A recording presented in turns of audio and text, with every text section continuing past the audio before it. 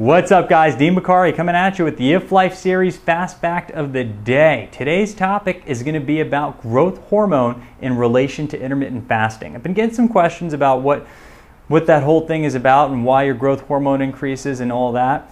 Let me tell you what the two most important roles of growth hormone are when it comes to intermittent fasting. Number one, it prevents muscle catabolism. As long as you're doing resistance exercise, it's going to present prevent your body from breaking down muscle.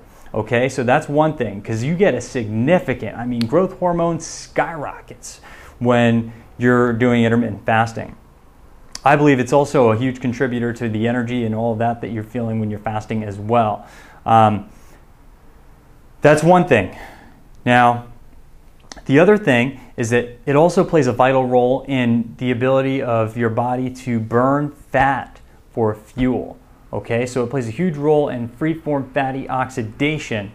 When your growth hormone output increases, it also, boom, that's what helps burn the fat for fuel as well. Okay, so that's your fast fact for the day, guys. If you have any questions, shoot me an email, info at wellnesswithdean.com.